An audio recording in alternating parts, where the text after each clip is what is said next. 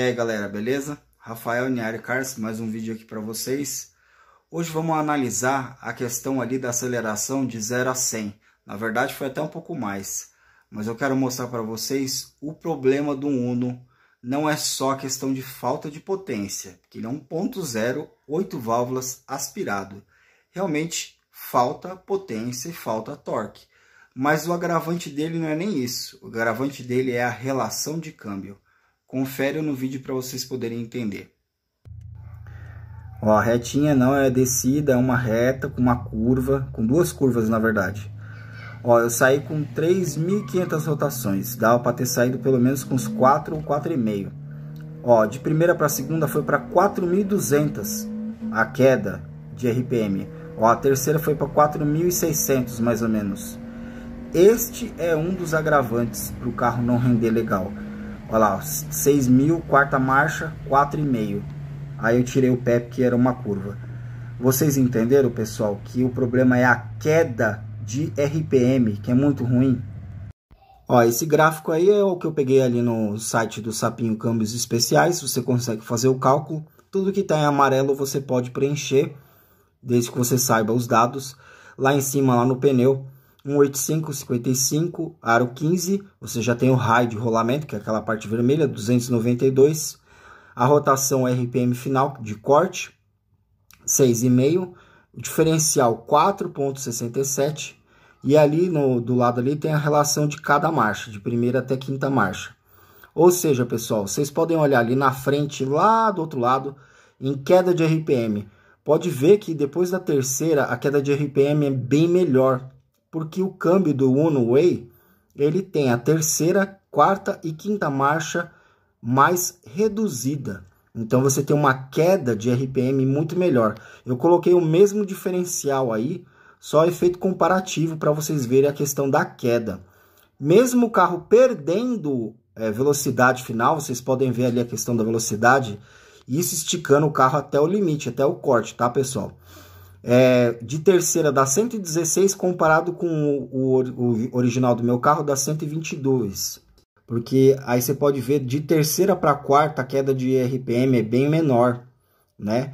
Então o carro já cai com um giro mais elevado.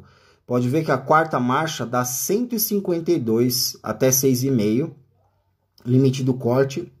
E o meu carro dá 171. Isso é GPS, tá? Porque realmente dá. E aí vocês vê lá, ó, de quarta para quinta, 202 no meu carro e 191 do outro. O que acontece, pessoal? Adianta também só mexer no diferencial, tá? O segredo é escalonar as marchas, né? Então aí nesse caso do Uno E é o único câmbio diferente de todos, tá?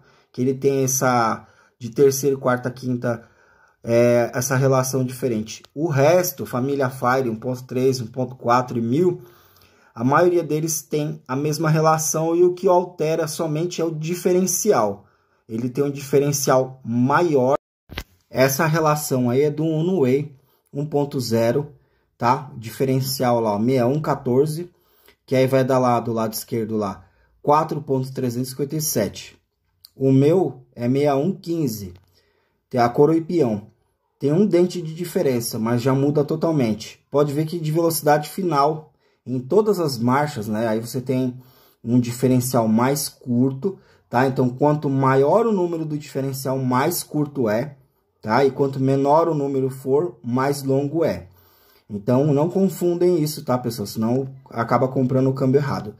No caso de um carro aspirado, tem que ter um câmbio curto. Então, esse do Uno Way ficou perfeito.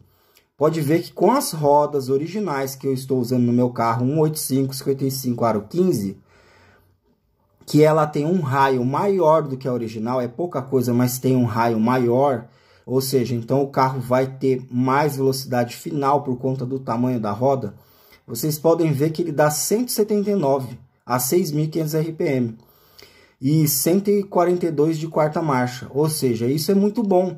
Terceira 108 por hora, tá? E ele tem a terceira, quarta e quinta escalonada. Então o carro vai render muito mais do que o meu. Então, pessoal, vocês conseguiram entender que a questão de você mudar a coroa e peão, que é você colocar uma coroa e peão uma relação de, de coroa e peão, que vai mudar tudo. Quando você muda coroa e peão, você muda a relação de todas as marchas, tá? Então, assim, você mudando a relação, colocando uma relação mais curta, então você vai ter a questão de um câmbio mais curtinho. Mas a queda de RPM, que é na troca das marchas, vai continuar sendo a mesma. Então, assim, não adianta só trocar o diferencial. Já ajuda, porque o Uno, que nem hoje, ele pegaria 202 por hora. Só que com motor 1.0, pessoal, isso é realidade. Não tem como chegar nessa velocidade com motor 1.0 aspirado. Tá? Se fosse turbo, com certeza, aí se pegar uma retinha aí, com certeza dá para chegar. Tá? Mas o Uno é um carro que não tem aerodinâmica e eu, minha pretensão não é velocidade final. A minha pretensão é ter saída, é fazer um carro de largada. Então eu preciso ter que o carro tenha um câmbio mais curto e que tenha quedas de, de troca de marcha muito mais eficiente. Se ele cair a 5.000 RPM, né, cada troca de marcha o giro for para 5.000 RPM, ele já vai estar tá com uma potência legal. Isso falando do 1.0. Eu ainda não mexi no câmbio porque eu estou fazendo um motor do 1.4. E assim que eu desenvolver o motor do 1.4, vou passar no dinamômetro, fazer o acerto, tudo bonitinho. E aí eu vou ver como que vai ficar essa questão da curva, torque e potência. Aí sim a gente pode estudar qual o câmbio, qual, qual o caminho que eu vou tomar, se eu vou modificar esse câmbio, se eu coloco um, um coroa e peão é, mais curto, ou se eu coloco só a, terceira e quarta, que já vai dar uma melhor ali nessa questão da queda.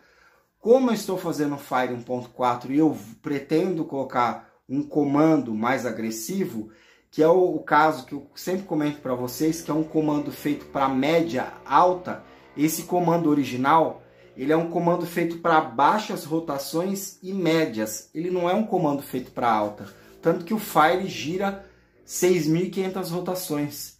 Entenderam, pessoal? Então, assim, é projeto, é estudo, tá? E quando vocês pensarem nessa questão do 0 a 100, não pensa assim. Claro que existe também um porém nessa história, de quando você está na estrada de quinta marcha, a 3.200, eu acho que 3.400 ele está 100 por hora. Se você colocar um, um câmbio mais curto, provavelmente você vai jogar o giro mais para cima. Então, de quinta marcha, provavelmente, se você colocar esse câmbio do, do Uno Way aí, eu vou fazer os cálculos aqui, aí eu ponho aqui na tela para vocês verem, é, baseado com as rodas Aro 15 que eu tô, é, para vocês verem quanto que vai ficar a rotação do carro giro de quinta marcha. Só que isso também é projeto, o engenheiro estuda e pensa nisso porque os Fires mais modernos ele tem o torque acima de 3.500 rotações. Então eles colocaram um câmbio mais curto para justamente o giro ficar mais alto, ficar bem na faixa útil de torque. Diferente desses Fires mais antigos, que é 2008, que o torque dele já vem em baixa. Então a 2.500 RPM você já tem o torque de 9.3 kgfm de torque. Então tudo isso é um projeto. E quando você faz uma modificação, você acaba tendo que mudar todo o conjunto. Tá certo, pessoal? Espero que tenha esclarecido o vídeo aqui para vocês. Qualquer dúvida, deixa aqui nos comentários aqui. Eu sempre quando puder eu respondo vocês. E não se esquece de se inscrever no canal, de ativar um sininho, de deixar aquele like para fortalecer o vídeo. Valeu! This is paradise.